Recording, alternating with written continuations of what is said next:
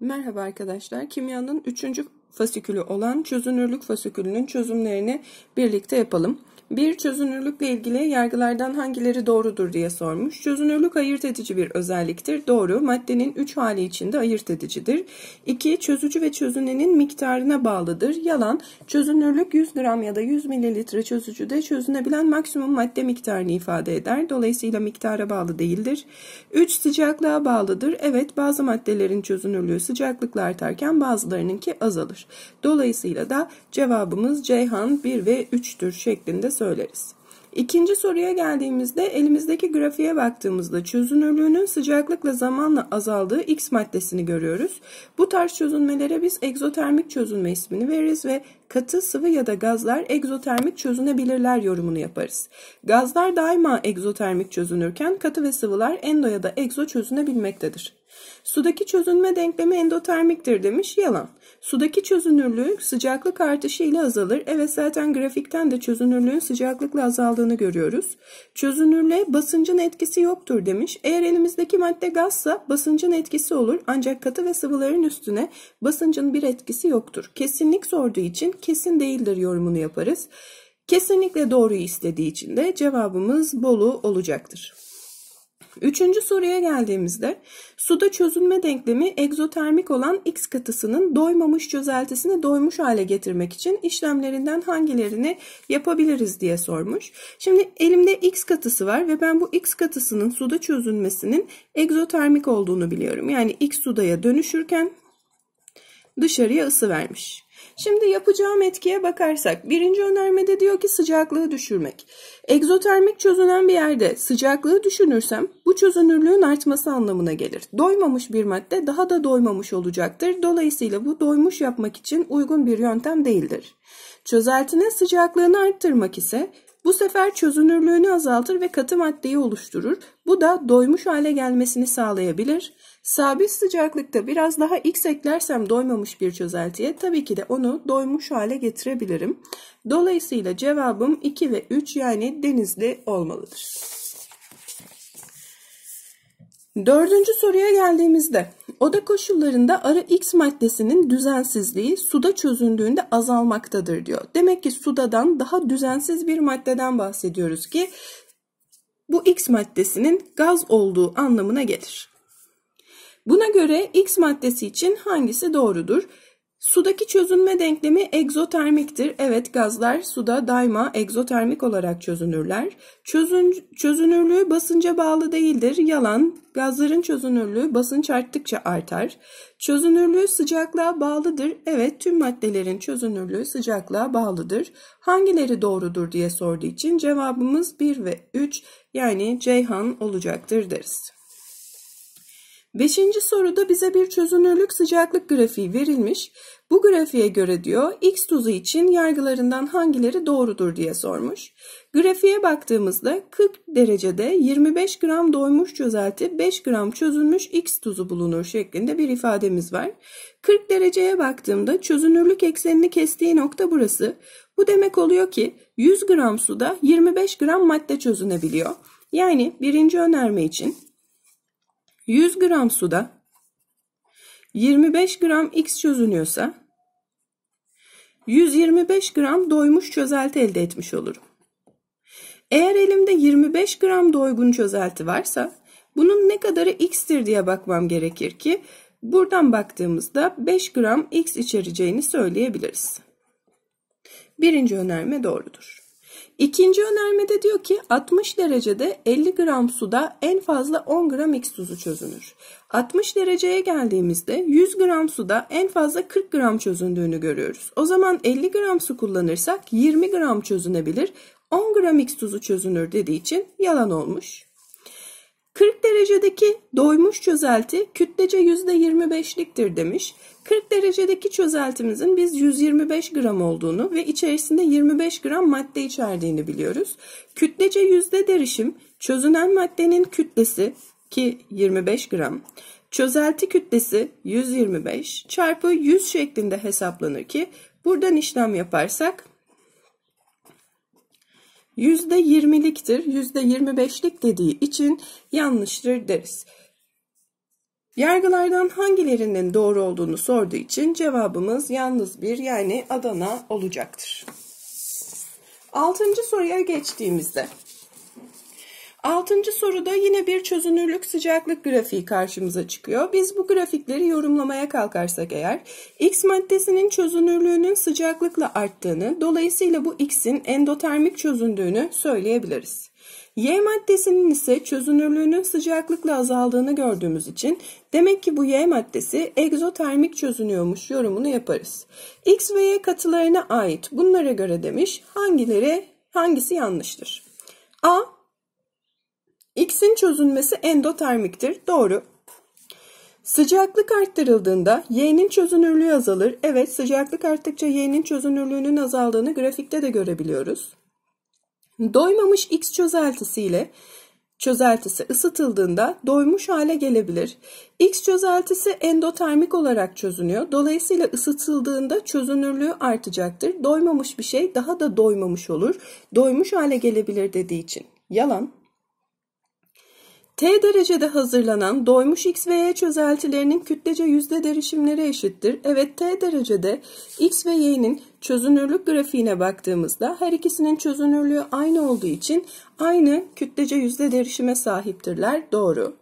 Doymuş Y çözeltisi ısıtıldığında kütlece yüzde derişimi azalır demiş. Y çözeltisi egzotermik çözündüğü için ısıtılması çözünürlüğünü azaltır. Çözünürlüğünün azalması daha az madde çözünmesi demek. Bu da kütlece yüzde derişiminin azalması anlamına gelecektir. Cevabımız Ceyhan şeklinde belirtiriz. Yedinci soruya geldiğimizde Yedinci soruda yine bize bir şekil verilmiş. Şekildeki sisteme işlemleri ayrı ayrı uygulandığında çözelti ile ilgili açıklamalardan hangisi yanlış olur diye sormuş. Sürtünmesiz pistonlu bir kapta karbondioksit gazı ve çözelti var. Aynı zamanda çözeltinin dibinde de bir miktar şeker katısının olduğunu görüyoruz. Şekerin çözünmesinin endotermik olduğunu vermiş. Biz de gazların çözünmesinin egzotermik olduğunu zaten biliyoruz. Sabit sıcaklıkta piston üzerine ağırlık konulması demek, buradaki basıncın arttırılması demek. Basınç artarsa basıncın artması karbondioksit gazının çözünürlüğünün artmasına sebep olacaktır. CO2 çözünürlüğü artar. İkinci işleme geldiğimizde pistonu sabitleyip kabı ısıttığımızda sıcaklığın artması anlamına geliyor ki sıcaklık arttıkça şekerin çözünürlüğü artarken şekerin çözünürlüğü artar, karbondioksitinki ise azalır şeklinde ifade ederiz. Çünkü karbondioksit egzotermik olarak çözünür. Bize diyor ki A Çözeltideki karbondioksit derişimi birinci de artar. Birinci işlemde basınç arttığından karbondioksitin çözünürlüğü arttı. Bu da daha çok karbondioksit çözünmesini sağladı. Derişimi arttı. Karbondioksit gazının çözünürlüğü ikincide azalır. Sıcaklık arttıkça egzotermik çözündüğü için çözünürlüğü azaldı. Şekerin çözünürlüğü birincide artar. Basıncın katıların üstünde hiçbir etkisi yoktur. Yalan. Şeker derişimi ikincide artar. İkincide sıcaklık arttırıldığı için endotermik olarak çözünen bir miktar şeker daha çözülmüş oldu. Bu da derişimini arttırdı. Katı şeker kütlesi ikincide azalır. Şeker çözündüğü için katı şeker kütlesi azaldı. Cevabımız Ceyhanmış şeklinde belirtiriz. Sekizinci soruya geldiğimizde şekildeki sistemde bulunan Azot gazının çözeltideki derişimi işlemleriyle nasıl değişir diye sormuş bize. Biz bu grafiğe baktığımızda burada e, pardon şekle baktığımızda bir gazın çözünürlüğünden bahsediliyor. Gazın çözünürlüğü için biz egzotermik çözündüğünü bildiğimiz için sıcaklık azaldıkça artacağını, basınç arttıkça da artacağını söyleyebiliriz. Kaba aynı sıcaklıkta helyum gazı eklemek kaptaki toplam basıncın artmasına sebep olur ama bizim için çözünürlüğünün artabilmesi için N2'nin basıncının artması gerekir. Helyum eklemek N2 gazının basıncını değiştirmeyeceği için çözünürlüğünde herhangi bir değişim olmaz. İkinci işlemde kaba aynı sıcaklıkta N2 eklemek işte bu N2 gazının basıncını arttırır ve gazların basıncı arttıkça çözünürlükleri artar. Cevabımız Adana'dır deriz.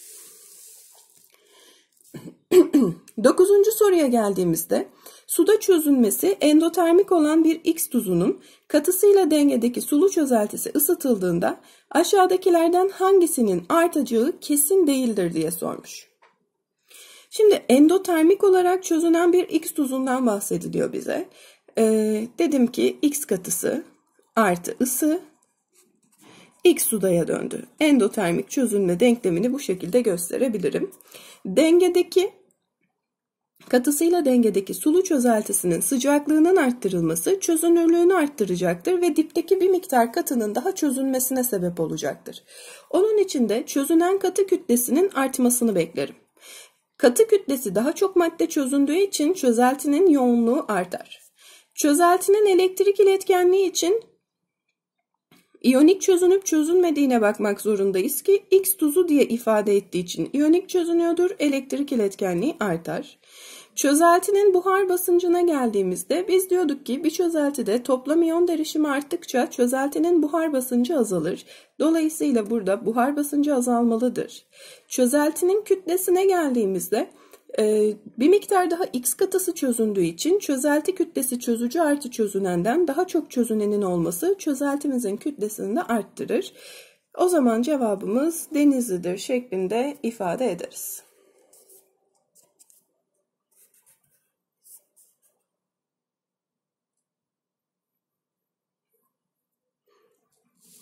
Geldik 10. soruya.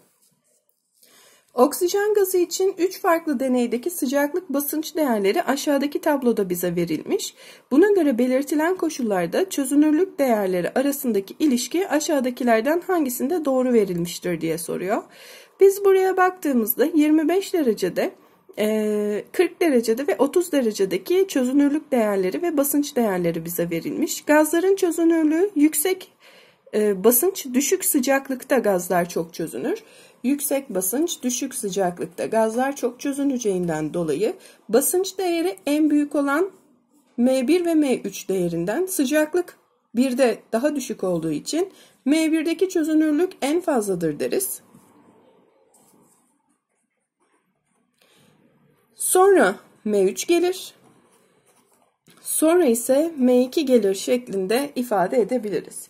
Dolayısıyla da çözünürlük sıralamasına baktığımızda M2 en küçük, sonra M3, sonra M1 olacaktır ki cevabımız Bolu'dur şeklinde ifade edilir.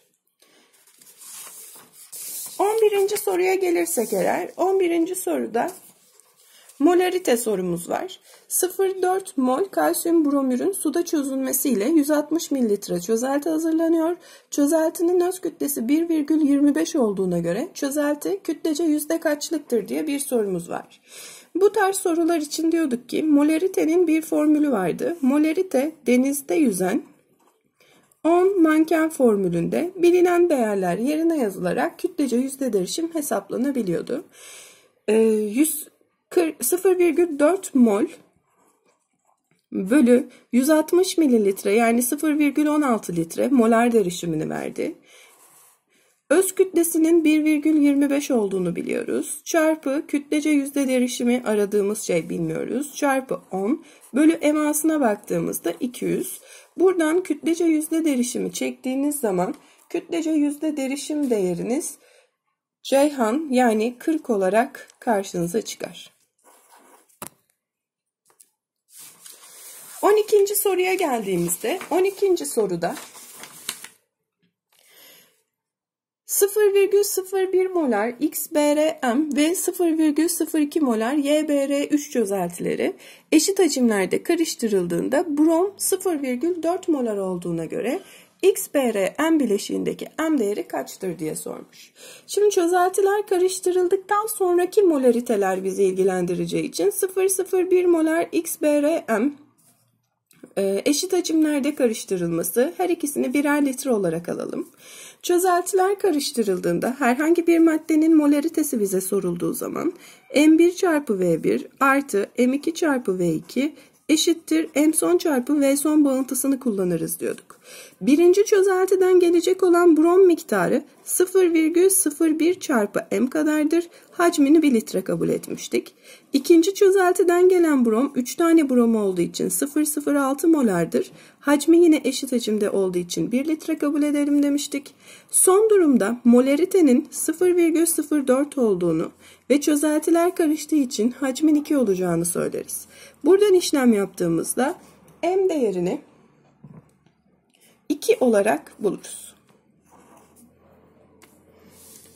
13. soruya geldiğimizde 13. soruda bir atmosfer basınçta suyun donma noktasının içinde çözünen X, Y ve Z maddelerinin molar derişimlerine bağlı olarak değişim grafiği bize verilmiş. Grafikteki Y maddesinin potasyum nitrat olduğunu biliyormuşuz. Buna göre X ve Z hangileri olabilir diye soruyor.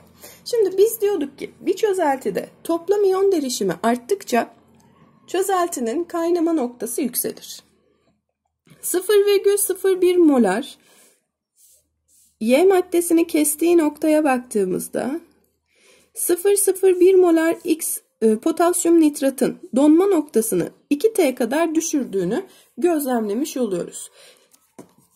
Potasyum nitrat toplam iyon sayısı olarak bakıldığında bir potasyum bir nitrattan iki tane iyon içerir. 0,01 molarsa 0,02 molar iyon 2T kadar donma noktasını düşürür şeklinde söyleriz. Şimdi Z maddesi için baktığımızda 0,01 molarken T kadar çözündüyse demek ki bu bir iyonlu 0,01 molar X'e baktığımda 4D kadar düşürdüyse bunun ise 4 iyona sahip olduğunu söylerim. Yani bu esasında moleküler çözünmeyi ifade eder. İyon olarak tanımlanmaz. X maddesi 4 iyon içermeli. Z maddesi ise moleküler çözünmeli. Alüminyum nitrat 1 alüminyum 3 nitrattan 4 iyon, bu bir şeker yapısıdır, disakkarittir. Onlar moleküler çözünecektir. Onun için de cevabımız Edirne'dir deriz. 14. soruya geldiğimizde sodyum klorürün sulu çözeltisinin 500 gramında 2 mg sodyum klorür bulunmaktadır deniliyor. Buna göre kaç ppm'dir? ppm per per milyon olarak geçer ki milyonda bir kısımdır ve ppm cinsinden değerler söylenirken miligram çözünen bölü kilogram çözelti şeklinde tanımlanır. E, miligram cinsinden çözünenimiz 2 miligram, çözeltimiz 500 grammış, kilograma çevirdiğimizde 0,5 kilogram yapar ki buradan ppm cinsinden değerimiz 4 ppm'dir. Cevabımız Bolu'dur diye bulmuş oluruz. 15. soruya geldiğimizde ise yine bir e, çözünür derişim zaman grafiği bize verilmiş. 0,1 molar 100 mililitre sodyum nitrat çözeltisi üzerine x molar y mililitre kalsiyum nitrat çözeltisi eklendiğinde sodyum ve nitrat iyonlarının derişimlerinin zamana bağlı olarak değişimi veriliyor bize. Bu durumda x ve y nedir diye sormuş. Şimdi her iki çözeltiye baktığımda her iki çözeltiden de nitrat iyonlarının ortak olduğunu görebiliyorum. Bu durumda Sodyum birinci çözeltide var, ikinci çözeltide yok. O zaman sodyumun derişiminin değişiminden eklenen çözeltinin hacmini bulabilirim. Nasıl? Biz diyorduk ki çözeltide bulunan maddelerin mol sayıları değişmez. Dolayısıyla ilk durumdaki molarite çarpı hacmi son durumdaki molarite çarpı hacme eşit olmak zorundadır. Sodyum için bunu yazıyorum. Sodyumun Başlangıç molaritesine baktığımda 0,1 molar ki buradan da görebiliyorum. Hacmi 100 mililitre yani 0,1 litreyken sondaki sodyumun molaritesine baktığımda 0,02 olmuş. Acaba hacmi ne olmuş şeklinde bakmalıyım ki buradan V son eşittir 0,01 bölü 0,02'den 1 bölü 2 yani 0,5 olmuş. Yani 100 mililitreyken 500 mililitre olmuş. Eklemiş olduğum kalsiyum nitratın 400 mililitre olduğu sonucuna varmış oluruz. Y dediğimiz 400 mililitredir. Şimdi geldik eklenilen kalsiyum nitratın molar derişimine. Bunun için de nitrat iyonlarından gitmeliyiz. Nitrat iyonları her iki çözeltide de bulunduğu için birinci çözeltiden gelen nitrat artı ikinci çözeltiden gelen nitrat eşittir M son çarpı V sona. Başlangıç çözeltisinde 0,1 molar nitrat var. Hacmi 100 mililitreydi. İkinci çözeltiden gelen nitrata baktığımda x molar 2 nitrat içerdiği için 2x çarpı hacmine baktığımızda 400 mililitre olduğunu az önce bulmuştuk 0,4. En son nitrat sonda 0,5 olmuş. Hacminin de 0,5 olduğunu buluyoruz. Buradan x'i çektiğimizde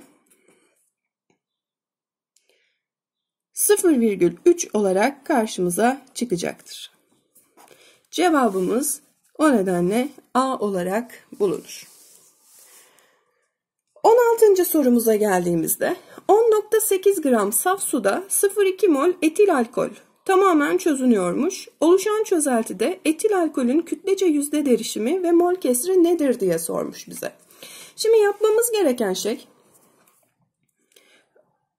mol kesri Çözün e, hangi maddenin mol kesrini soruyorsa o maddenin mol sayısı bölü toplam mol sayısı formülüyle bulunur. Onun için biz bu 10.8 gram saf suyun kaç mol olduğunu bulmak zorundayız. 1 mol su 18 gram olduğu için 10,8 bölü 18'den mol sayısı 0,6 mol olarak bulunur. 0,6 mol su ve 0,2 mol alkolden oluşmuş bir çözeltim var. Alkolün mol kesrini istediği için alkolün mol sayısı 0,2 bölü kaptaki toplam mol sayısı 0,6 artı 0,2 dolayısıyla 0,2 bölü 0,8 yapar ki 2 bölü 8'den 1 bölü 4 olarak mol kesri bulunmuş olur. Bir de oluşan çözeltinin kütlece yüzde derişimini sormuş. 0,2 mol etil alkolün kaç gram olduğunu öncelikle hesaplamak zorundayız. 1 mol alkol 46 gramsa 0,2 molü çarparız 0,2 ile kütle olarak hesapladığımızda 6, 12, 4, 8, 9, 9,2 gram olduğu bulunur. 10.8 gram su 9.2 gram alkol içeriyorsa bizim çözeltimizin toplam kütlesi yani M çözelti suyun kütlesi artı alkolün kütlesinden 20 gram olarak bulunur. 20 gram çözeltide alkolden 9.2 gram varsa 100 gramda ne kadar vardır şeklinde baktığımızda bu bunun 5 katı. 5 katını alırsak 9.2'nin 46 olarak bulmuş oluruz. Cevabımız Bolu olacaktır. 17. soruya geldiğimizde 0,5 molar X NO3 çözeltisi 400 mililitresinde 32.8 gram X NO3 çözeltisi bulunmaktaymış. Buna göre X'in atom kütlesi nedir diye sormuş. Molarite mol sayısı bölü hacim anlamına geliyordu. 0,5 molar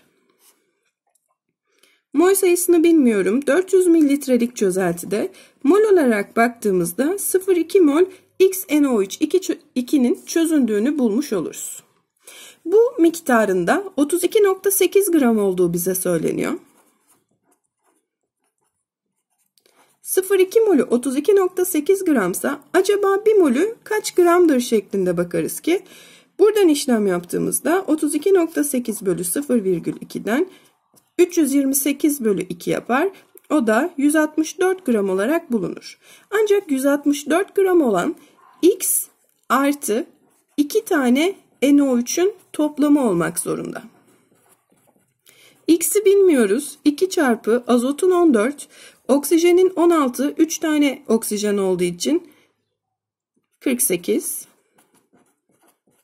Buradan X'i çektiğimizde de X'in 40 olduğu bulunacaktır. Cevabımız Bolu'dur diyebiliriz.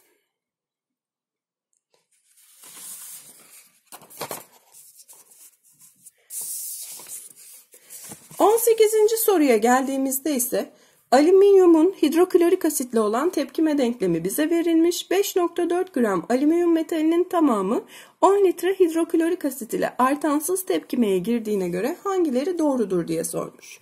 5.4 gram alüminyum kullanılıyorsa alüminyumun mol sayısı kütlesi bölü emasından 0,2 mol olarak bulunur. Yani bu tepkimede 0,2 mol alüminyum kullanılıyorsa 1 mol 3 mol ile tepkimeye gireceği için 0,6 mol hidroklorik asit kullanılmıştır. Birden 1 oluştuğu için 0,2 mol alüminyum klorür tuzu oluşmuştur. Birden 1,5 oluştuğu için 0,3 mol hidrojen gazı meydana gelmiştir yorumlarını yaparız. Bize diyor ki hidroklorik asit çözeltisindeki toplam iyon derişimi. Hidroklorik asit çözeltisinin derişimini hesaplarsak molaritesi mol bölü hacminden 0,6 bölü 10 litre olduğu için 0,06 molar yapar. Toplam iyonu dediği şey hidroklorik asit H ve Cl şeklinde sulu çözeltisinde iyonlaştığı için 0,6 çarpı 2'den 0,12 olmalıydı. 0,06 dediği için yalan. Normal koşullarda 6.72 litre hidrojen gazı oluşur demiş. 1 mol 22.4 litre hacim kaplıyorsa 0,3 mol ne kadar hacim kaplar dediğimizde 6.72 litre hacim kaplayacağı bulunur. Doğrudur deriz. 0,2 mol alüminyum klorür tuzu oluşur.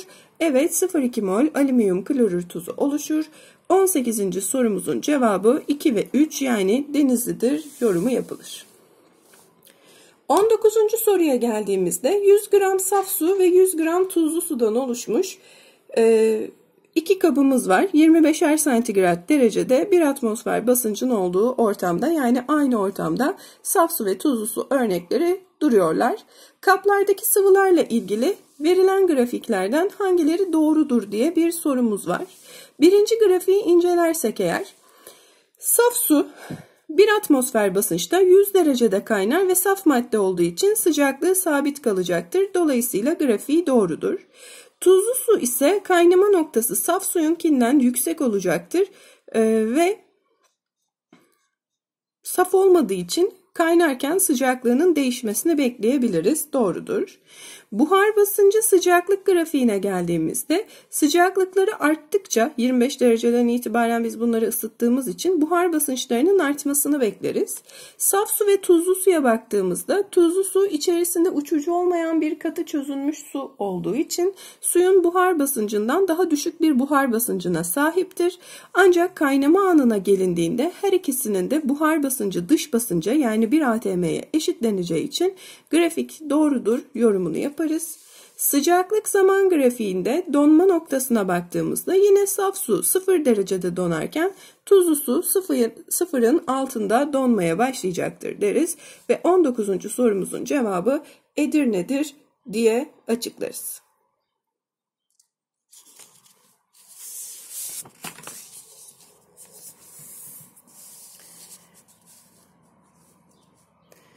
20. soruya geldiğimizde yukarıda X ve sodyum klorür çözeltilerinin derişimleri ile kaynama noktalarındaki yükselme miktarları bize verilmiş.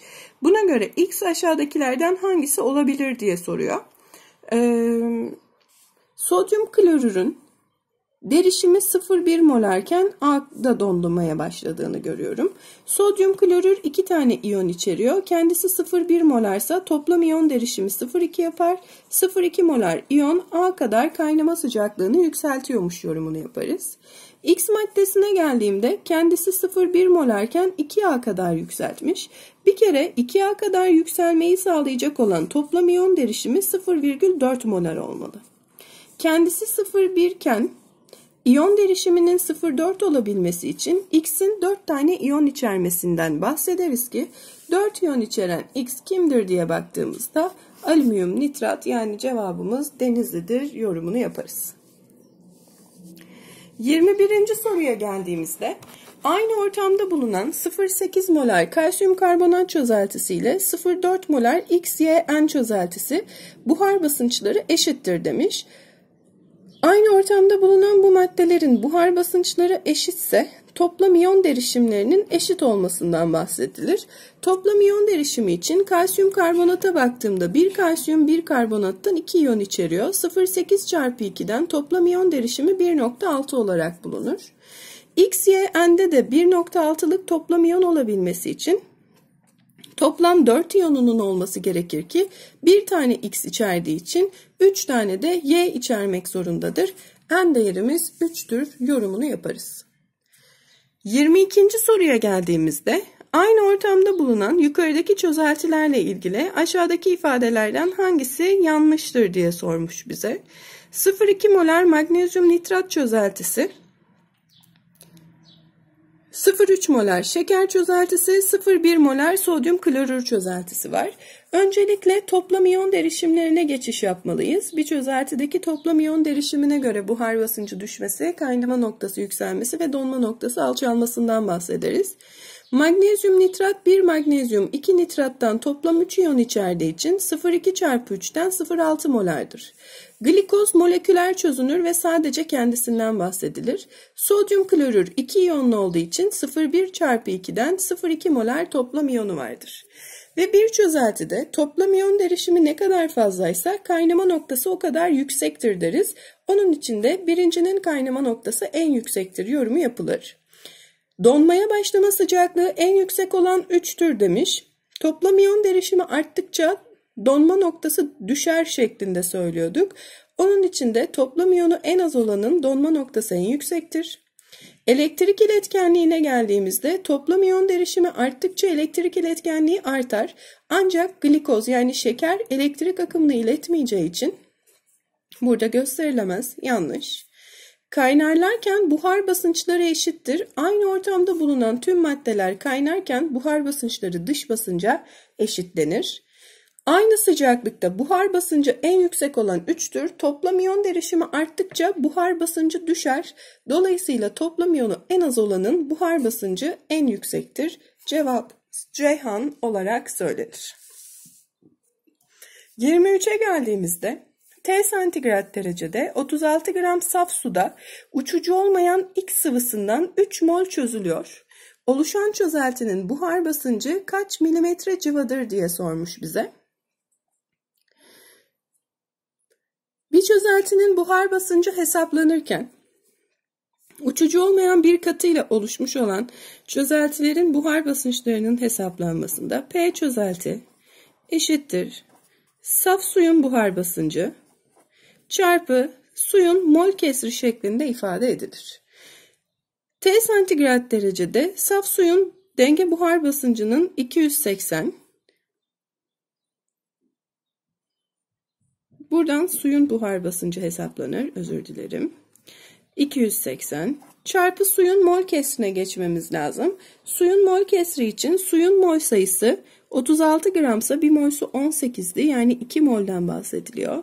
Suyun mol sayısı bölü kaptaki toplam mol sayısı ki 3 artı 2'den 5 mol var.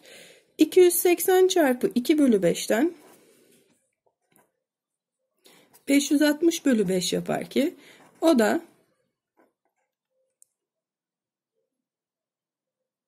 1 112 şeklinde bulunur. Aynı şekilde X maddesinin buhar basıncındaki değişim için saf X'in buhar basıncı çarpı X'in mol kesri şeklinde düşünmek zorunda kalırız ki X'in buhar basıncının 100 olduğunu, X'in mol sayısı 20 çarpı 3'ten 60, çözeltinin buhar basıncı bu iki sıvının buhar basınçlarının toplamı olacağı için 112 artı 60'tan 172 olarak bulunur. Cevabımız Ceyhan'dır. Yorumunu yaparız.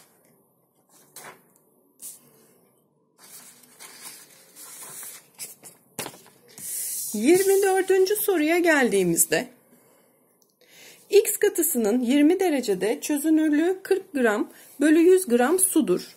Buna göre kesinlikle doğru olanı sormuş bize soru.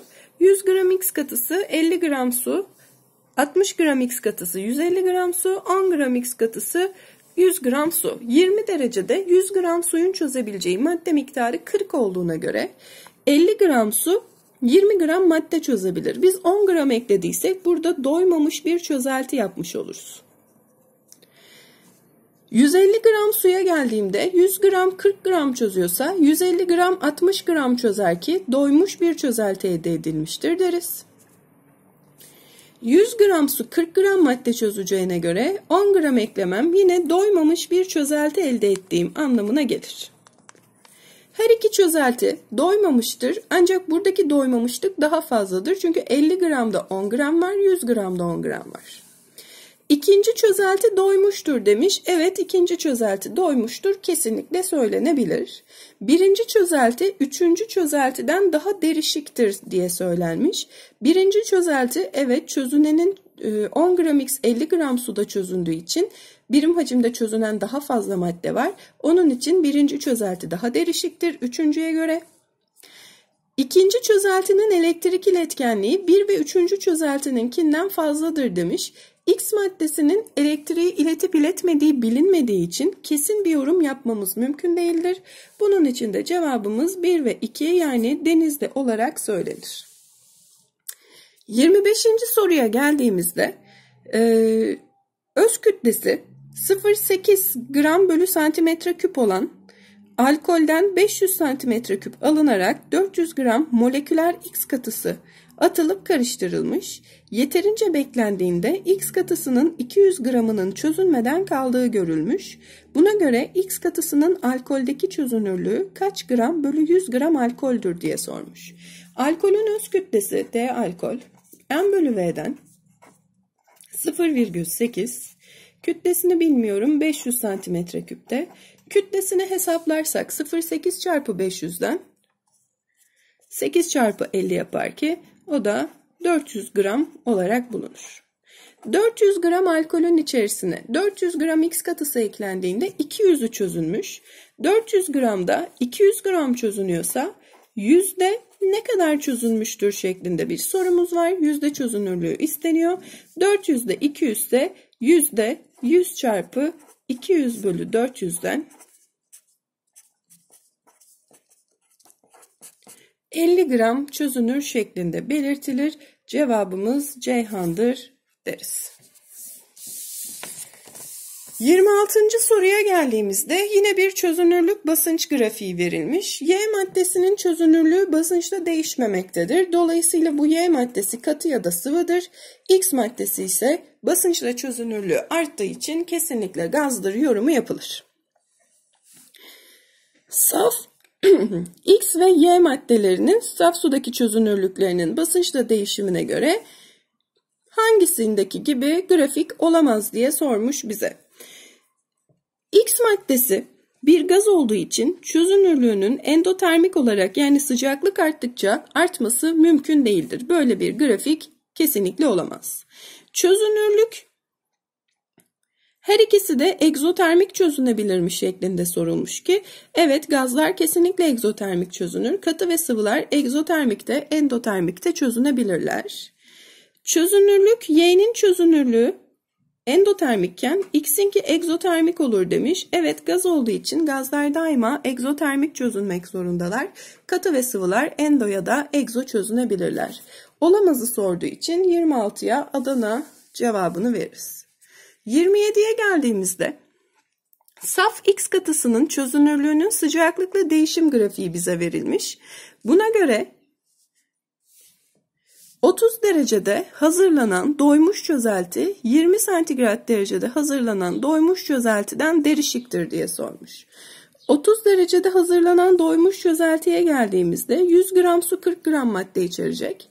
20 derecede hazırlanan ise 100 gram su 15 gram madde içerecek. Eşit miktardaki suda daha çok madde çözüneceği için 30 derecede çözelti daha derişiktir yorumu yapılır. 20 derecede 30 gram X'i tamamen çözmek için en az 200 gram su gerekir. 20 derecede 100 gram su 15 gram madde çözüyorsa 30 gramı çözmek için 2 katı kadar yani 200 gram su gerekecektir. Doğru. 30 derecede 300 gram suda en fazla 120 gram X katısı çözünebilir. 30 derecede 100 gram suda maksimum 40 gram madde çözünebiliyorsa 300 gram suda 3 katı yani 120 gram X katısı çözünebilir. Doğrudur deriz. 27'nin cevabı Edirne olarak bulunur. 28. soruya geçtiğimizde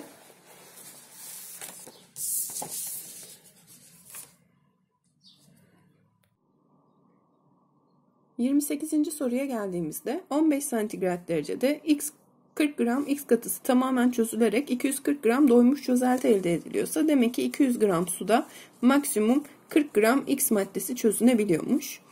Ee, bu çözeltinin sıcaklığı 40 dereceye çıkarıldığında 30 gram X katısı kristallendiğine göre demek ki 10 gram X 200 gram suda çözünüyormuş yorumunu yaparız. Yani çözünürlüğü sıcaklık arttıkça azalmış. Çözünürlük sıcaklık arttıkça azalıyorsa sudaki çözünme egzotermiktir doğrudur deriz. X katısının 15 derecedeki çözünürlüğü 100 gram suda 20 gramdır. Evet 200'de 40 ise %20'dir doğru. X katısının 40 derecedeki çözünürlüğü 5 gram 100 gram sudur demiş. 5, e, 40 derecedeki çözünürlük 200 gram su 10 gram x'tir. 100 gram su 10, 5 gram x çözecektir. Dolayısıyla doğrudur. Hangileri doğrudur diye sorduğu için cevabımız Edirne'dir deriz. 29. soruda sodyum iyonunun su molekülleriyle sarılması yani hidratlaşma olayı bize gösterilmiş. Buna göre hidratlaşmış sodyum iyonu dur bu. Evet sodyum iyonunun etrafını su moleküllerinin sarması e, sodyum iyonunun hidratlaşmış olması anlamına gelir ki doğrudur. Tanecikler arasında iyon dipol etkileşimleri vardır. Evet su polardır. Sodyum bir iyondur. Dolayısıyla aralarında iyon dipol etkileşimi kurulur. Sodyum iyonu pozitif olduğu için suyun negatif ucu olan oksijenler tarafından sarılmıştır. Pozitif ucu dediği için yalan. Hangileri doğrudur diye sorduğu için cevabımız 1 ve 2 yani Ceyhan'dır deriz. 30. soruya geldiğimizde 2 litre kalsiyum karbonat çözeltisi 3 çarpı 10 üzeri eksi 4 mol çözülmüş kalsiyum karbonat içeriyormuş. Buna göre çözeltinin derişimi kaç ppm'dir diye soruyor. Biz diyorduk ki ppm miligram çözünen bölü kilogram çözelti ya da litre çözelti olarak ifade edilebilir.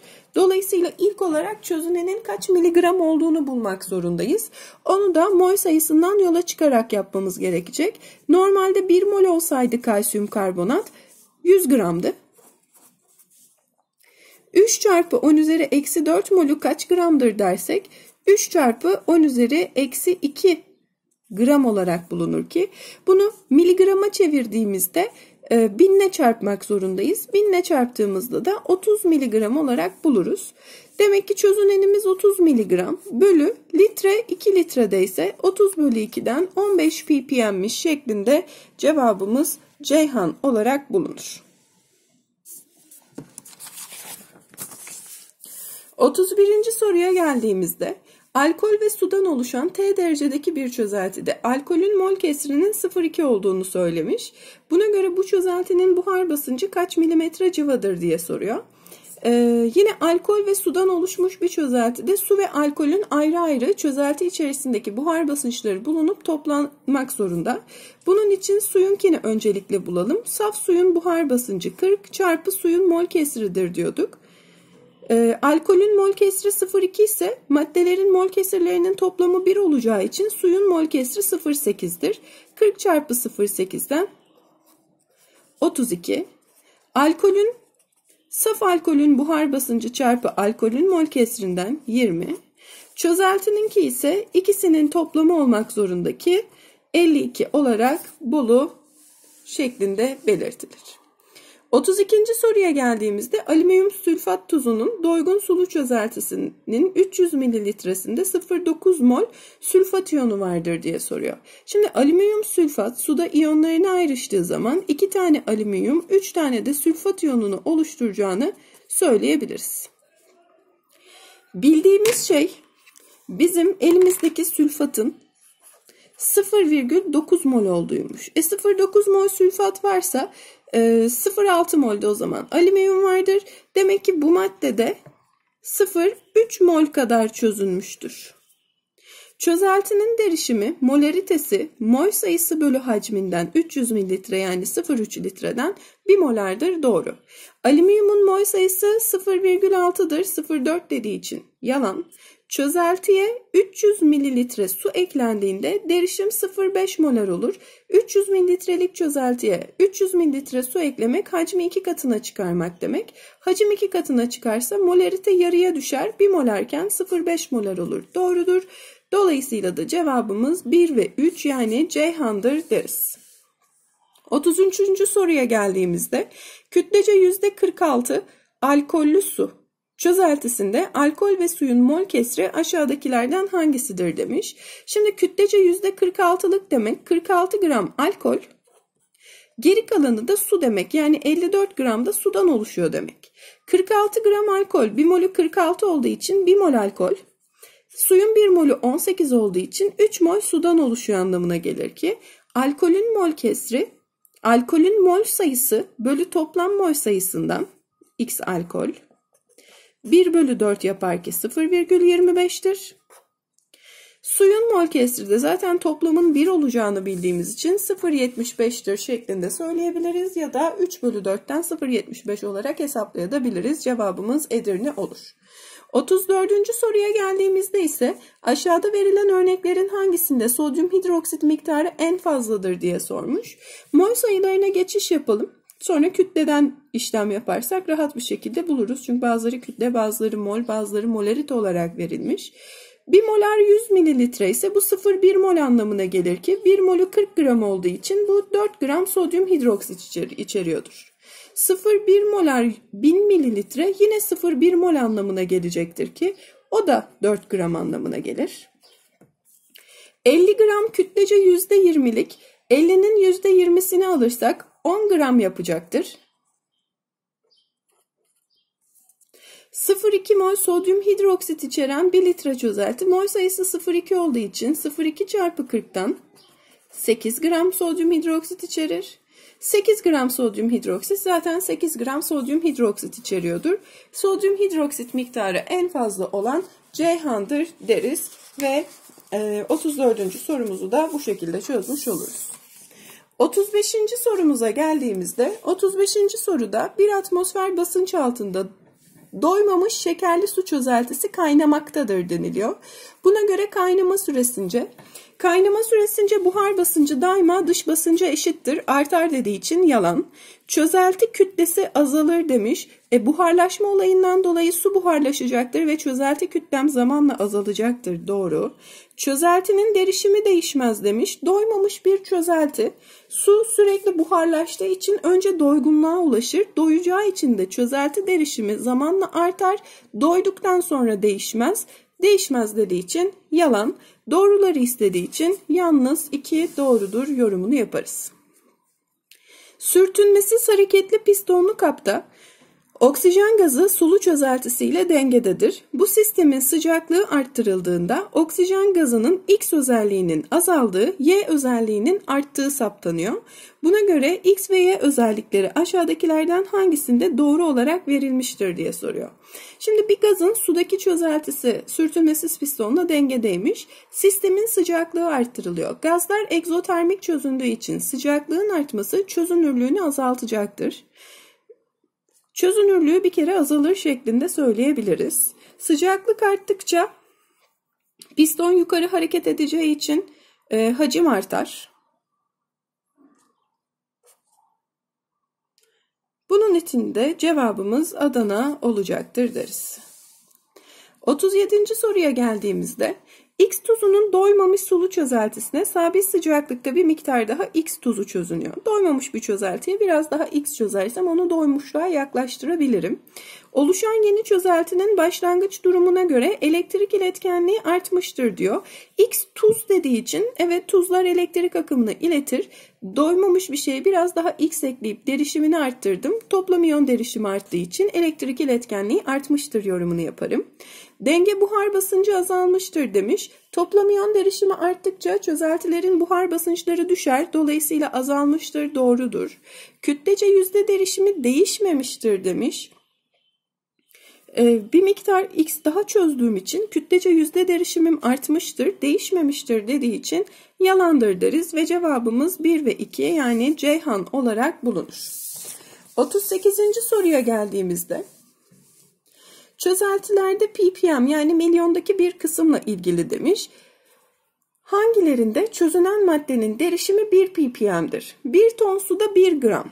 Biz diyorduk ki miligram bölü kilogram olarak ppm cinsinden değer bulunur. 1000 1 gram 1000 miligramdır. 1 tonda 1000 kilogramdır. Dolayısıyla 1 olarak bulunur ki doğrudur deriz. 500 kilogram suda 0,01 mol kalsiyum karbonat çözünmesi. 0,01 mol ise 1 molü 100 gram 0,01'i 1 gram yapar ki 1 gram 1000 miligram yapar. Bölü 500 kilogram bölü 500 diye yapmamız lazım. Bu durumda bu 2 ppm yapacaktır ki olmadı. 2 litre suda 2 miligram evet miligram bölü litre Yine ppm cinsinden değer verir diyorduk. 2 bölü 2'den 1 ppm şeklinde bulunur. 1 ppm olanlar 1 ve 3 yani Edirne'dir deriz. 39.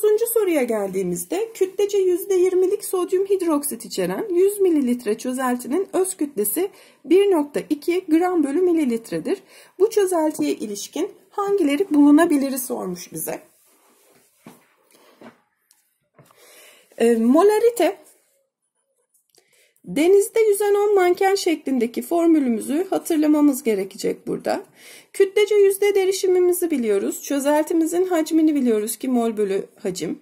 Ee, öz kütlesini biliyoruz. Bu durumda sodyum hidroksitin emasını da bize verdiği için mol sayısını ve kütlece yüzde derişimini hesaplayabiliriz. Çözülmüş sodyum hidroksit kütlesi evet hesaplanabilir. Moler derişimi evet hesaplanabilir. Ee, çözeltinin kütlesi çözeltinin kütlesine geçtiğimizde çözünen maddenin kütlesini biliyorsak çözünen maddenin kütlesinden suyun kütlesiyle topladığımızda çözeltinin kütlesine geçiş yapmamız gerekir ki buradan çözelti kütlesi de kolay bir şekilde hesaplanmış olur. 40'a geldim. Kütlece %30'luk 200 gram çözeltiye aşağıdaki işlemler ayrı ayrı uygulandığında çözeltinin derişimi kütlece %20'lik oluyormuş. Buna göre X ve Y değerleri aşağıdakilerden hangisinde doğru verilmiştir diye soruyor. %30'luk 200 gram çözeltiye kütlece %20'lik yapabiliyorsak biz X gram madde çözülüyor demiş. Dedik ki %30, 100 e, gramda 30 gram madde varsa o zaman 200 gram çözeltide 60 gram madde vardır başlangıçta. Son durumda kütlece %20'lik olması demek bu 60 gramın içerisine bir miktar madde eklemişiz. Çözeltimizde 200 artı x kadar olmuş çarpı 100 20'yi vermiş ki x'i buradan çekmek zorundayız. %20'yi sadeleştirdim burada 5 kaldı. 200 artı x eşittir 300 artı 5x'ten 4x eşittir 100. x eşittir 25 olarak bulunur. Yani 25 gram madde eklemişiz. Bolu ya da Denizli'den biri. Y gram saf su eklenerek yapıldı diyor. %20'lik olması için saf su ekliyorsam 60 gram maddem var. 200 gramın içerisine ne kadar saf su ekledim ki %20'lik oldu şeklinde yine bakarım. Bu buradan 5 yapar. Yani 200 artı x eşittir 300'e x eşittir 100 olarak bulunur ki cevabımız Bolu şeklinde söylenir. 41. soruya geçersek eğer 0,2 molar 200 mililitre magnezyum klorür çözeltisine aynı sıcaklıkta 1,88 gram magnezyum klorür eklenerek tamamen çözülmesi sağlanıyor. Buna göre çözülen grafiklerden hangileri doğrudur demiş. Magnezyum klorürün 1 molünün 94 gram olduğunu vermiş bize. 1 molü 94 gramsa 1,88 gramına geçersek 0,02 mol olduğunu buluruz. 0,02 mol magnezyum klorür eklemişiz. Başlangıçtaki mol sayımıza geçersek molarite çarpı hacimden 0,04 mol magnezyum klorür vardı. 0,02 mol daha geldi. Mol sayımız toplam 0,06. Hacmimiz hala 0,2'den 0,3 molar olarak bulunur. Yani magnezyum iyonu derişimine geçersek magnezyum tek bir tane olduğu için 0,2 molardan 0,3 molara geçmesi gerekirken 0,4'e çıkartıldığı için yanlıştır derim. Toplam iyon derişimine geldiğimde başlangıçta magnezyum artı klor 3 iyonlu 0,2 çarpı 3'ten başlangıç molaritem 0,6. Sonda 0,3 molar magnezyum klorür oluştuğunu biliyorum. Yine 3 iyonlu 0,3 çarpı 3'ten 0,9 oldu. Dolayısıyla doğru.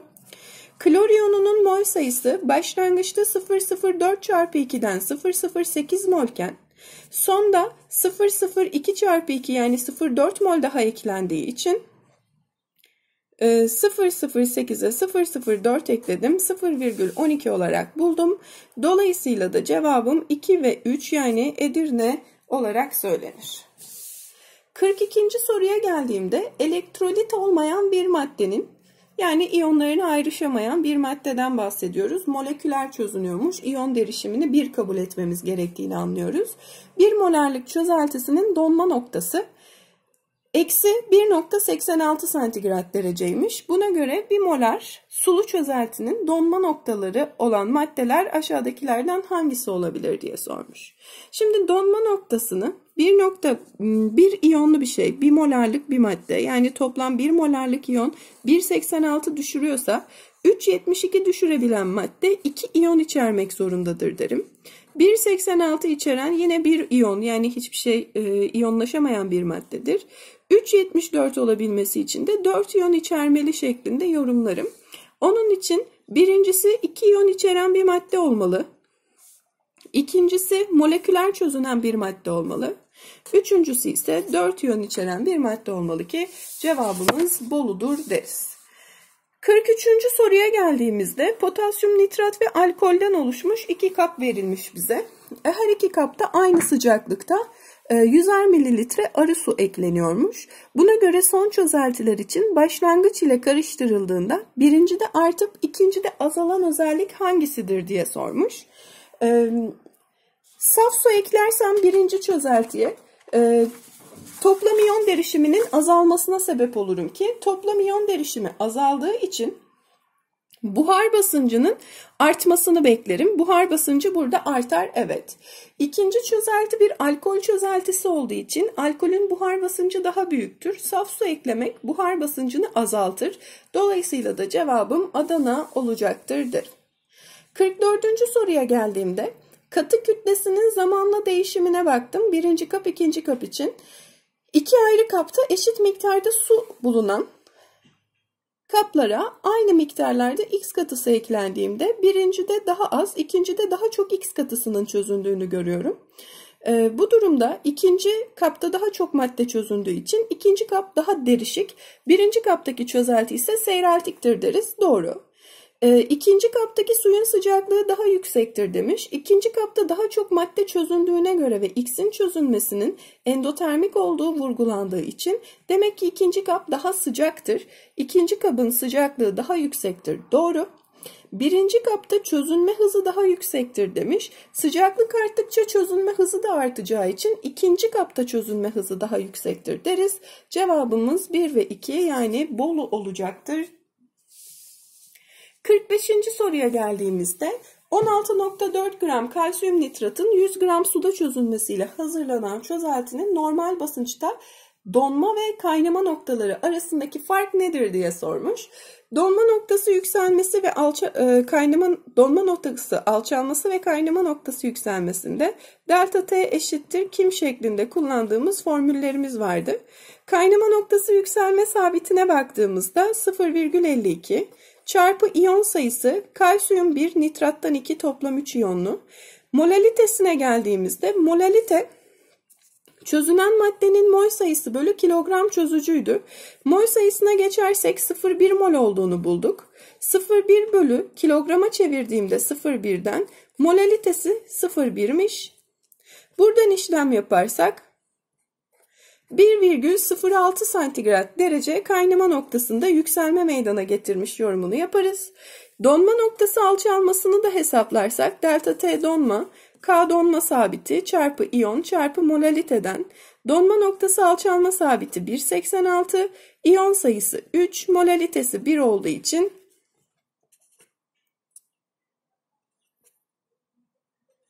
5,58 derece donma noktasını düşürecektir. Bize sorduğu şey normal basınçta donma ve kaynama noktaları arasındaki fark. Kaynama noktası 101,06 dereceyken donma noktası eksi 5,58 derece. Bu ikisi arasındaki farkı alırsak biz 107 14 olarak bulunur.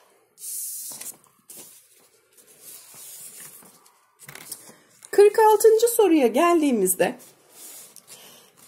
yine bize doymuş x çözeltisinin katısıyla dengede bulunan doymuş bir x çözeltisinin e, kaptaki görseli verilmiş. X'in çözünen kütlesi ve X'in sudaki çözünürlüğündeki değişimle ilgili hangisi doğrudur diye soruyor. Aynı sıcaklıkta bir miktar su ekleniyormuş. Şimdi aynı sıcaklıkta su eklemek bir miktar daha X katısının çözünmesine sebep olacaktır. Onun için X'in çözünen kütlesi artar yorumunu yaparız. X'in sudaki çözünürlüğü için aynı sıcaklıkta su eklemek kesinlikle çözünürlüğü değiştirmez. Çözünürlük, sıcaklık, gazlarda basınç ortak iyona bağlı olarak değişim gösterir. Aynı sıcaklıkta su eklemek kesinlikle bir maddenin çözünürlüğüne etki etmez.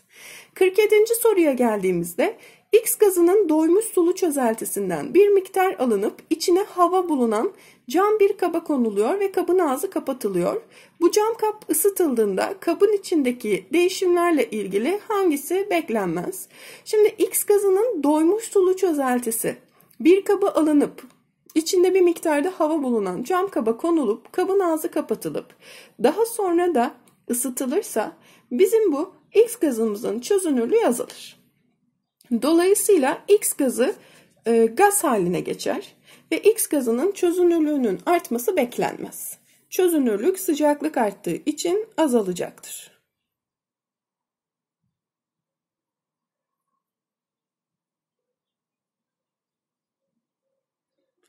X gazının basıncının artması çözünürlüğü azaldığı için X gaz haline geçecektir ve basıncının artmasını bekleriz. Hava basıncının artması demiş. E bir miktar daha gaz oluştuğu için hava basıncı artar. Suyun buhar basıncının artması demiş. E, içerisinde çözünen madde miktarı azaldığı için buhar basıncı artar. Sulu çözeltinin hacminin azalması e, oksijen gazının çözünürlüğü azaldığı için sulu çözeltinin hacmi ve bir miktar suda buharlaşacağı için azalacaktır. Azalmasını beklerik, bekleriz. Ee, ama X gazının sudaki çözünürlüğünün artması beklenmez. 47'nin cevabı Adana'dır deriz. 48. soruya geldiğimizde aşağıdakilerden hangisi sulu çözeltilerin tümü için doğrudur sormuş bize. Elektriği iyi iletirler. Hayır bu tümü için doğru değil. İyonik bileşikler elektriği iletirken moleküler bileşikler suda iyonların ayrışamayacakları için elektriği iletemezler. Kütlesi çözünen madde ile suyun kütlesi toplamına eşittir demiş. Evet bir çözeltide kesinlikle kütle korunmak zorundadır. Hacmi çözünenle suyun hacminin toplamına eşittir. Hayır yine e, tanecikli ve boşluklu yapıdan dolayı maddeler birbirleri içerisine girerler. Bu da toplam hacmin korunmasını e, sağlayamaz, engeller. Kaynama noktası suyunkinden yüksektir demiş. Suyun içerisine eklediğimiz maddeye göre kaynama noktası değişecektir. Uçucu olmayan bir katı çözdüğümüzde kaynama noktası yükselir ama uçucu bir şey eklediğimizde kaynama noktası düşebilir. Onun için kesin bir şey söyleyemeyiz. Yoğunluğu suyunkinden büyüktür demiş. Ee, yine aynı şekilde sudan yoğun ya da az yoğun madde eklemeye göre değişeceği için kesinlik kullanamayız. Ama kütle kesinlikle korunacaktır ve cevabımız Bolu'dur deriz. 49. soruya geldiğimizde aşağıdakilerden hangisinde çözünme olmaz diye sormuş. Suya kolonya damlatılması evet alkolün suda çözünmesidir. Çaya şeker katılması şekerin suda çözünmesidir. Suya buz katılması burada bir çözünme olayı yoktur. Bu bir erimedir. Aynı maddedir. Çözünmenin olması için farklı maddelerin birbirleriyle karıştırılması gerekir. Yağ lekelerinin benzinle temizlenmesi yine bir çözünmedir. E, gazoz yapımında Basınçta gaz kullanılması evet gazların sıvıdaki çözünürlüğüyle alakalıdır. 50'ye geldiğimizde arı haldeki X sıvısının mol kütlesi 62, oda sıcaklığındaki yoğunluğu 1.1'dir. Aynı sıcaklıkta bu sıvının 31 mililitresi ile 250 mililitre sulu çözelti hazırlanıyor. Çözeltideki X'in molar derişimi nedir diye sormuş.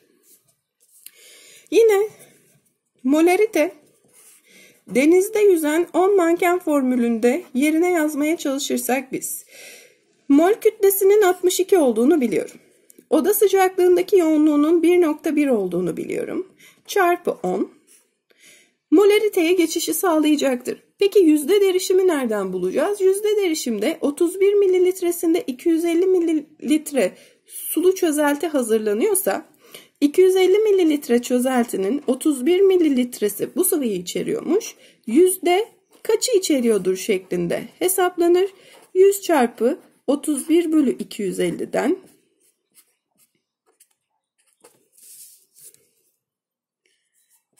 62 bölü 5 yapar.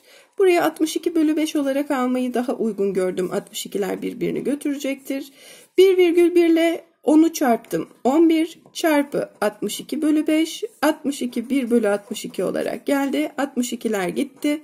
11 bölü 5 kaldı ki bize. 11 bölü 5 de 2,2 olarak bulunur. Cevabımız Bolu'dur deriz. Bu şekilde çözeltiler testimizi bitirmiş oluyoruz.